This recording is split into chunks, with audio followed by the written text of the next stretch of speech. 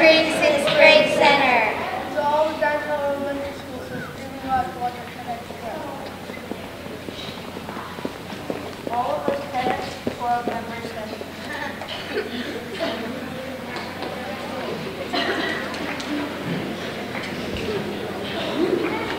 All of us TEDx Club members have been working on this event for the past three months. It's our pleasure to be able to share this event with all of you. If you aren't involved in our TEDx Club at the sixth grade center, you might be wondering what we're talking about. We'd like to thank all of you for being here today with us.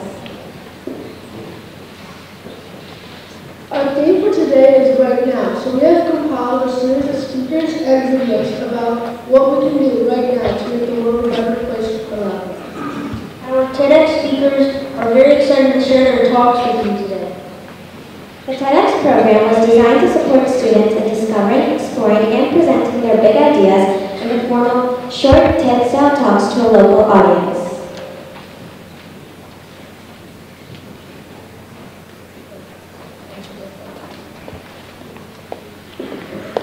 Our first speaker will be talking about how her passion for animals has brought her to where she is now. She's a vet that specializes in animals' eyes. We'll learn to tell you more about this. Please give a round of applause for Dr. Brady.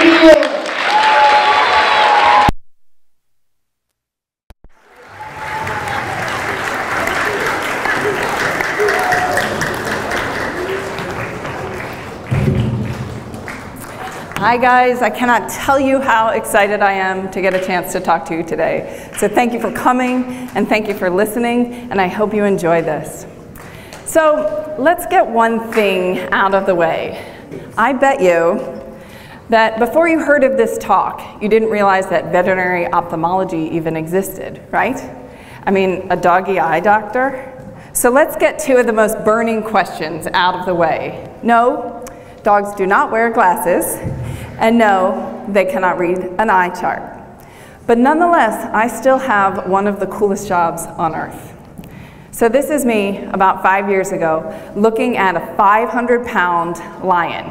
And he had scratched his eye, his cornea, which is the surface of your eye, on a branch in his exhibit. So they asked us to come in and they asked us to take a look. And as you can see from this picture, he's under anesthesia, and those are breathing tubes that are coming out of his mouth. But I have to tell you, I was still a little bit nervous when we climbed into that cage with him. And I had taken some students with me that day to look at this lion, and we were all nervous. And we were kind of giggling and probably talking a little bit too loudly just because that's what we do when we're nervous. When the zoo vet said to me, hey, stop. Everybody listen. You need to look around this cage right now at the ladders on the walls and on the ceilings, and each and every one of you needs to plan three escape routes because I cannot guarantee you that I can keep him under anesthesia. So we got focused. So what is veterinary ophthalmology? Well, it's the same thing as human ophthalmology. So we're dealing with the same diseases. So things like corneal ulcers, a scratch on the surface of your eye like that lion had, or maybe glaucoma, which is a high pressure inside the eye, or even sudden blindness. We have retinal disease. And just to bring everybody up to speed, I put a picture of an eye up on the screen for you. So at the front of your eye is the cornea. Right here, the middle of your eye is the lens. The lens is the clear focusing part of your eye, and that's what helps you see near and far. But if you get a cataract, that turns to a white cloud, and you can no longer see out of your eye. And then you have your retina, which is in the back of the eye. And the retina is the part of the eye that sends the images that you see in your world back to your brain. So it's kind of like the pixels in a digital picture, or the film in an older camera. Some of the patients that I see on a daily basis, this guy's one example. So this is a 13-year-old female spayed miniature pinscher dog. And her owners brought her in because she's suddenly gone blind. She'd absolutely lost vision. And you can look at her eyes and see that there's a problem. So she has a cataract in both eyes, this white cloud in both eyes. And it turns out as we started to ask them more questions, they revealed to us that she'd been drinking more and she'd been urinating more. And what that means is she's actually gotten diabetes, and those diabetes gave her cataracts. The good news about cataracts is that we can fix them. So there is a surgery that we can do to get this dog's back, vision back. And this is her a week later, and she's able to see again. That surgery is the exact same procedure as your mom might get or your grandfather might get, but the difference is I have to put the dogs under general, general anesthesia so that they're sleeping when I do this procedure. This is the surgery just as a quick step-by-step. Technically speaking, it's called phacoemulsification, and then we implant an artificial lens. The first step, think of it like a little probe going into the eye with a jackhammer, and it breaks up that white cloud that you saw in that miniature pinscher. And then once those pieces are tiny, I can suck those out, and then you have a clear eye again. And if everything's gone great, I can insert an artificial lens back into place so that when that dog wakes up, not only can he see, but he can focus perfectly. We had a very cool opportunity at University of Pennsylvania last year where a team from Animal Planet came and they followed six of our students over their senior year. What was the neatest thing for me is that they came to our rotation and actually captured a cataract surgery. Now, of course, as luck would have it, it was going to be one of the hardest cataract surgeries of my whole life, so you can imagine how nervous I was. But I did a quick one minute clip for you guys so you can watch a little bit of that Animal Planet show.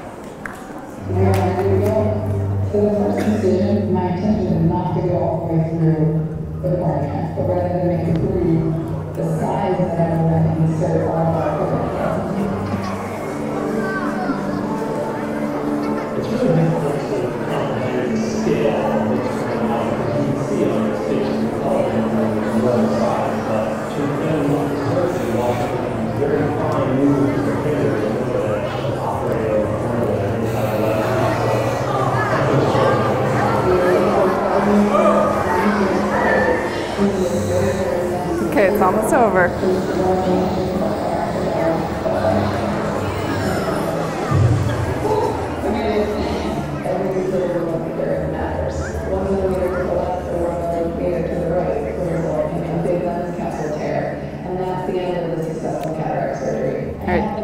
This is the coolest part. You don't want to miss this part.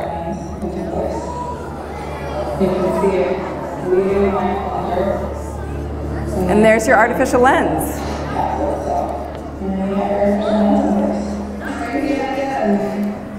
All right, you guys made it through.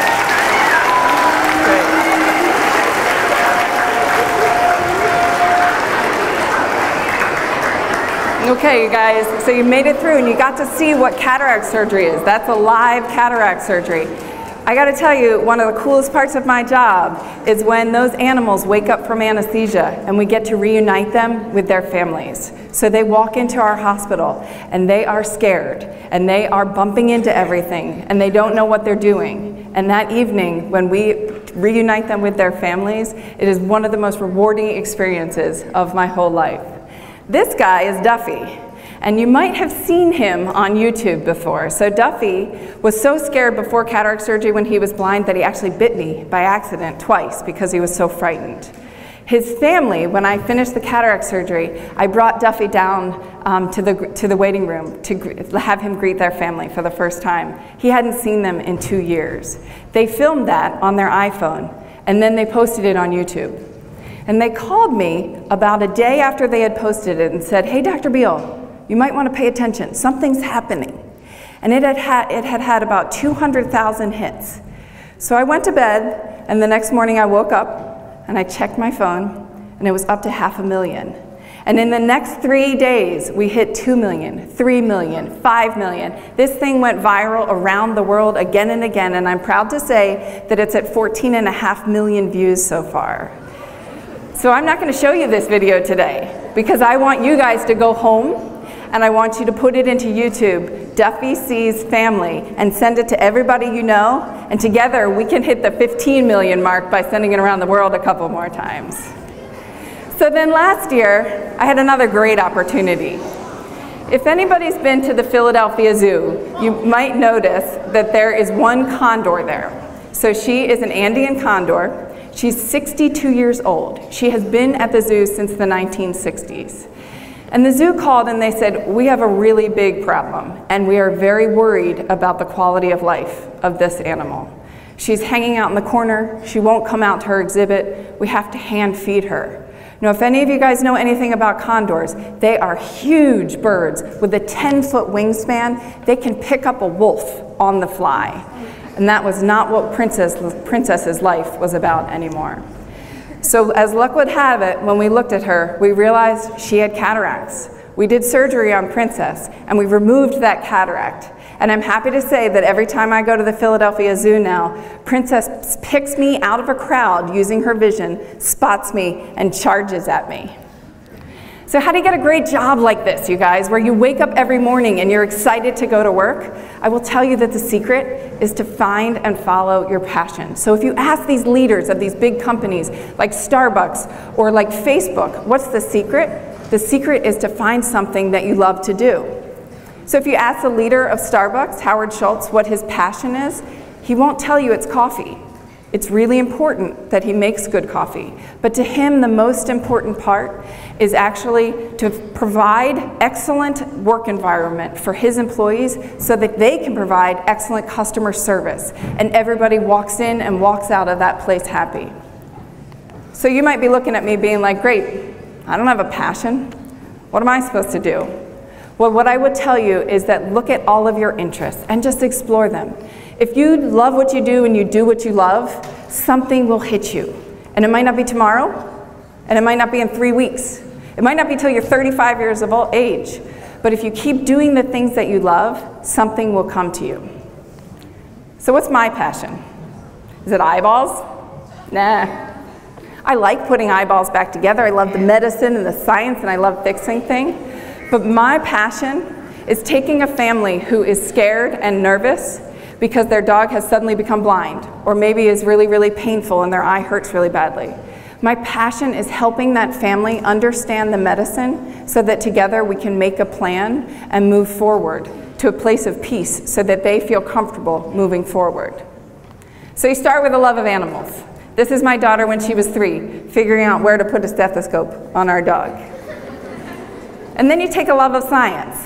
So when I was just a little bit older than you, our teachers said, We're going to have a science fair, and you guys get to pick any question you have and explore it.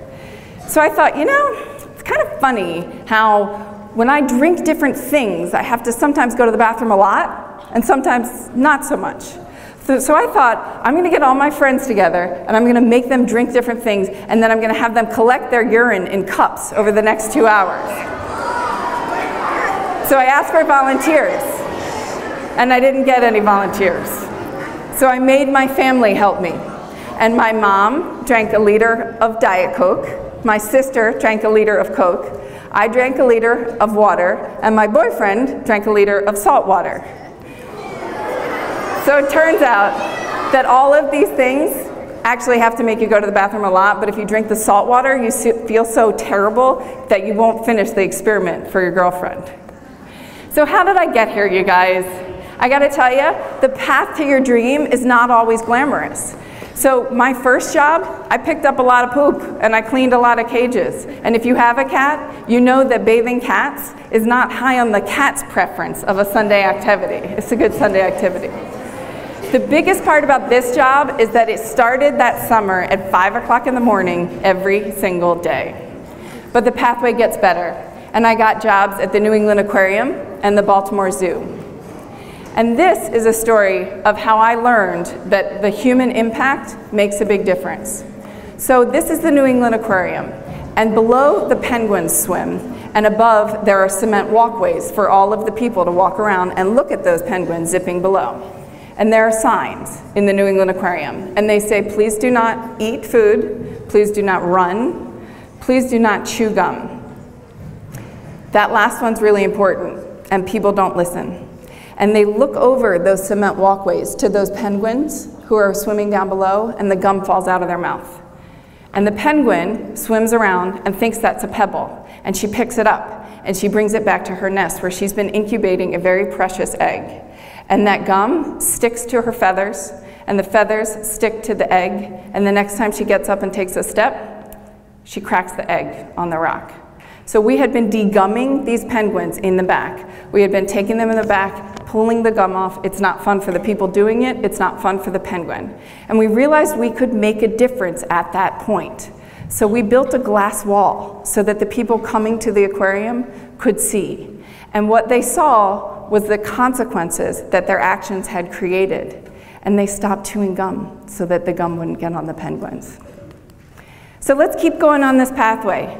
Undergraduate, the first, the first step. I got into my dream school, Dartmouth College, and I was playing two varsity sports, and I was pre-med because that's pre-vet, and I was trying to hang out with my friends, and I hit a wall, and I started to fail a course for the first time. And I realized that we can't all do everything. So I want to tell you guys today, even though I, my greatest dream was always to become a veterinarian, it's okay to stumble. So I dropped that course, and I stopped playing lacrosse, and I got back on track and I got focused and I got into vet school. So let's do a grand tally. Undergraduate, four years.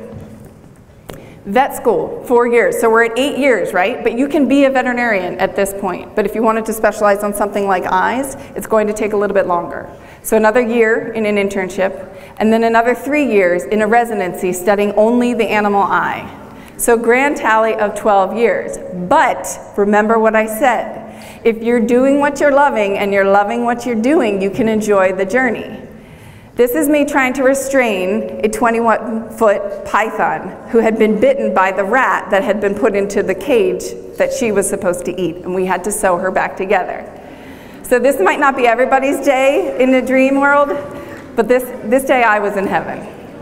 And who wouldn't want to play with piles of puppies, right? So there was one day in vet school that I'll never ever forget. So this dog is a dog named Thor, and he is a cop dog, and he has a partner. This day in, my, in our senior year of vet school, we were in the emergency room, and there actually wasn't much going on. So we were just kind of hanging out and trying to learn some more things in our senior year, when suddenly we heard some sirens. And that's strange because dogs don't usually come in in an ambulance, right? So we heard the sirens, but they started getting closer and closer and closer. So we ran to the front of the building at the University of Pennsylvania. And we pulled, op pulled open our doors just as an ambulance was pulling into the driveway at Penn. The back doors flew open, and on the stretcher was a dog, and there was blood everywhere. And the IVs had been started. So the medics that he was brought in by had already started IV catheters in both of his forelimbs, and they were trying to pump fluids in him to save his life. So we grabbed the stretcher and we ran to the emergency room, and we started to stabilize him. And we checked his heart rate, we got his blood pressure up, we made sure he was breathing okay. And when we realized finally that he was going to be okay and he was going to live, we got the story of what had happened to Thor and his partner that day. So Thor and his partner, the cop, had broken up a crime, and the suspect started to run away. So the cop and Thor took off after the suspect, but they were losing ground and the suspect was getting away. So the cop reached down and he unhooked the leash of Thor, and Thor took off after the suspect, and he started gaining ground. But at that point, the suspect, we didn't realize, had a gun, pulled it, he aimed it, and he shot Thor. And he shot him in the forearm, and he shot him in the chest. And Thor went down, and there was blood everywhere, and he couldn't get up. But in the time that that scuffle had happened, the cop caught up to the suspect. And the suspect again raised his gun to tr try to shoot the cop. And Thor looked up and he saw what was happening and he dragged his body up and he took that suspect down. And it is for these dogs that we realize right now we got to do something. Exactly.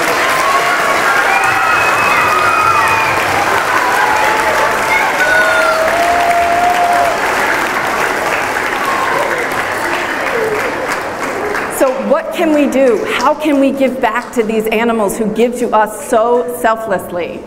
About 10 years ago, all the veterinary ophthalmologists in the country banded together for the month of May. And we said if we could give free eye exams to try to pick out problems before they turn into really big problems, we would love to do that. So for 10 years, the month of May, free eye exams, I am proud to say we have given out 60,000 free eye exams to these amazing animals. Thank you guys. This,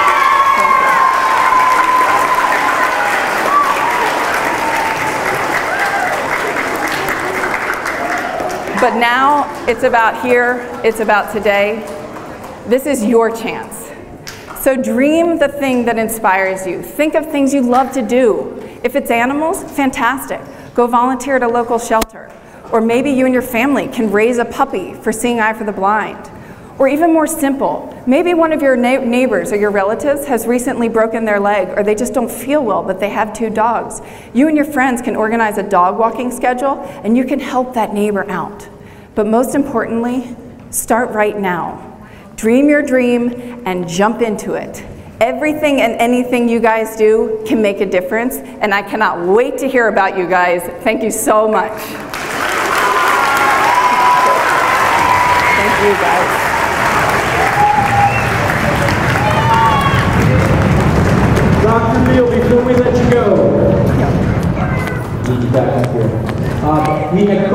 Had questions that were Oh, great. by our students, so I'm just going to ask you one. You bet. What's your favorite thing about your job? Uh, how can I list one? You guys have just seen so many. You know, I think my favorite thing about my job right now is that I work at the University of Pennsylvania and I get to teach students to become vets. So to see that amazement and wonder for the first time that somebody gets to do a surgery all by themselves, or they get to um, recognize a problem in the back of the eye all, them, all by themselves, I think to me that's the most rewarding part right now, watching people become vets so that more and more people can help these amazing animals. Thank you for paying it forward.